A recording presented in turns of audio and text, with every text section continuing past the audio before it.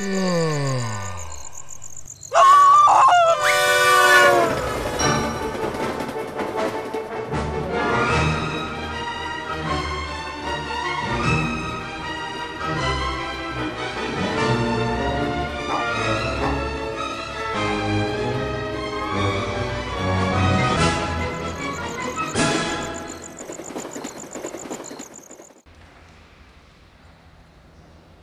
Dzień dobry pani.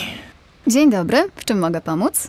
Otóż widzi pani, mam mały kłopot. Na moim osobistym rachunku mam około 3000 mońków. Nie będą mi teraz potrzebne. Chciałbym jakoś korzystnie je ulokować, bo oszczędzam na telewizor. I wie pani, chciałbym kupić większy, no bo już wzrok nie ten.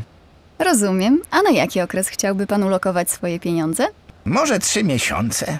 A jaki procent może mi pani zaproponować? Oprocentowanie takiej lokaty wynosi 3%.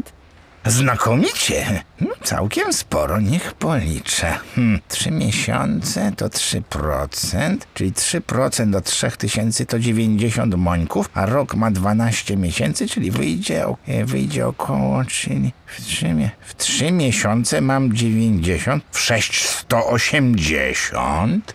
Przepraszam bardzo, ale chyba muszę panu coś wyjaśnić. Oprocentowanie lokaty liczone jest w stosunku rocznym, czyli po roku oszczędzania otrzyma pan 3%, czyli 90 mońków. Po trzech miesiącach 22,5 mońka. A, rozumiem.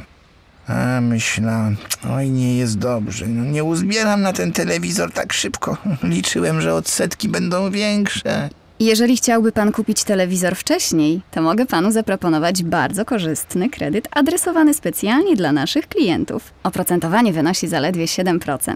To bardzo korzystna oferta. 7%? I to ma być korzystna oferta? A za moje mońki dajecie tylko 3? To rozbój! To niesprawiedliwe! Szanowny panie, tak to już jest. Kiedy pan lokuje swoje pieniądze w banku, jest pan pożyczkodawcą, a pożyczkobiorcą jest bank. Kiedy zaciąga pan w naszym banku kredyt, jest odwrotnie. To bank jest pożyczkodawcą, a pan pożyczkobiorcą. Bank musi zarabiać, dlatego wyżej oprocentowane są kredyty niż lokaty. No, rozumiem. No ale to oprocentowanie to jakieś podejrzane. Wysoce, wysoce. Wszystko mogę panu wyjaśnić. No słucham. Stopy procentowe lokat i kredytów Co to tak długo trwa? Gada pani i gada, a nic się nie dzieje. A pan co tak marudzi przy tym okienku? Chce se pan pogadać, to idź pan na mównicę. Bardzo pan niekulturalny. Ja niekulturalny. A pan co? Weź pan se załatw to prędzej, bo mnie się spieszy, no. Panie kierowniku! O co chodzi? Pan wynalazca chciałby dowiedzieć się, czym są stopy procentowe, a ja mam dziś tutaj duże ruchy. Jeśli można, Oczywiście, zapraszam pana. No wreszcie. Może coś wreszcie załatwię. Pani damie z mojego konta 50 mońków. Stopy procentowe określają oprocentowanie kredytów lub lokat. Musi pan wiedzieć, że najistotniejsze w gospodarce są oficjalne stopy procentowe, których wysokość określa bank centralny. Ciekawe. Ale co to ma do rzeczy? Stopy banku centralnego wpływają, jak już mówiłem, na całą gospodarkę. Nasz bank, podobnie jak inne, na ich podstawie określa wysokość oprocentowania lokat i kredytów dla naszych klientów. No tak, czyli w każdym banku człowiek dostanie takie same odsetki za swoje pieniądze? Nie, no nie, no oferty banków bardzo się różnią. A dlaczego?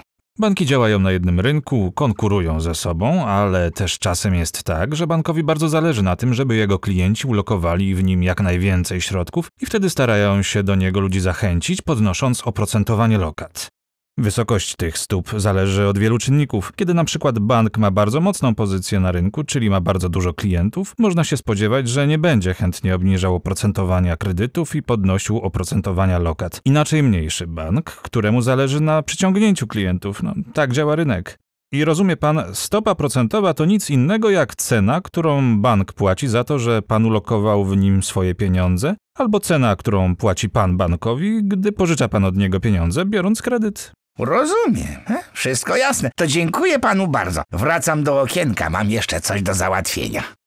No ale może mnie pani wypłacić te 50 mońków? No pani się zlituje, no. proszę pana, setny raz panu tłumaczę, że nie mogę wypłacić panu pieniędzy z konta, kiedy nie ma pan ze sobą dokumentu stwierdzającego tożsamość. Nie może? Jak to nie może? No jak? No przecież to ja jestem, no. Proszę zrozumieć, że wymagają tego względy bezpieczeństwa. Dzięki nim nikt nie podejmie bez pana wiedzy pieniędzy z pańskiego konta. Kto?